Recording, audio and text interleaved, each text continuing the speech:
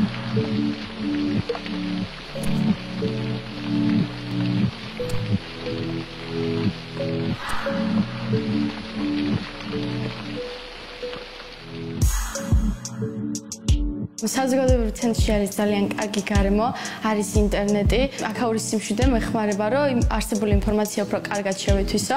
აგრეთვე არის წიგნები, განსაკუთრებით დიდ ყურადღებას ვაქცევი ინგლისურის წიგნებს, ვარ აბიტურიენტი, ვაბარებ ინგლისურზე და ამიტომაც ვცდილობ რომ გამოვიყენო აი ეს წიგნები და უფრო განვავრცო ჩემი ცოდნა.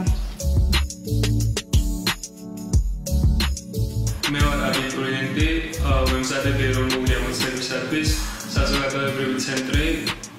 გვეხმარება ჩვენი სოციალური განმავლობაში. მე აქ ამოვდივარ მეგობრებთან ერთად ინტერნეტში ყოველ მასალებს, ეს მასალები გვეხმარება ასევე რომ დავგეგმოთ აქტივობები.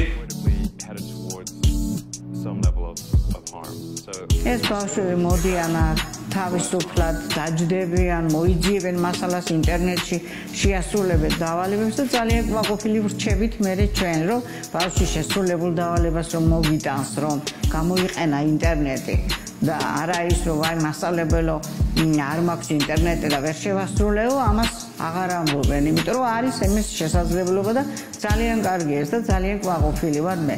წელს სერტიფიცირებული მასწავლებელი გავხდი და მინდა აღნიშნო, რომ სწორედ ამ ბიბლიოთეკით ვისარგებლე სახლშიაც მიმქონდა წიგნები და იქაც ვკითხულობდი და აქაც ბევრჯერ დავждარვარ, იმიტომ რომ არის ზოგჯერ ზოგი მასალები ისეთი, რომ ამდენ წიგნებს ვერ წაიღებ, ახლა აქაც გინდა თვალი გადაავლო რაღაცას და ძალიან ყვაყופილი ვარ ამითაც.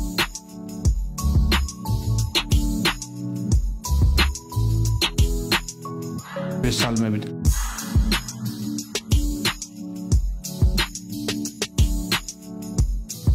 საზოგადოებრივ ცენტრებში ახალგაზრდებს და ზოგადად აბიტურიენტებს შეუძლიათ რომ ისარგებლონ ელექტრონული ელექტრონული ბიბლიოთეკით, ასევე იქ არსებული ბიბლიოთეკებით და ამის წარმატებას მიაღწიოს და ყველაფერი ამის მაგალითი შეიძლება ითქვას რომ ვარ მე რადგანაც საზოგადოებრივ ცენტრის საშუალებით გავხდი ივან ჯავახიშვილის სახელობის ეს სახელმწიფო უნივერსიტეტის ერთ-ერთი წარმატებული სტუდენტი და ვფიქრობ რომ საზოგადოებრივ ცენტრმა ამ კუთხით ძალიან დიდი დახმარება გამიწია.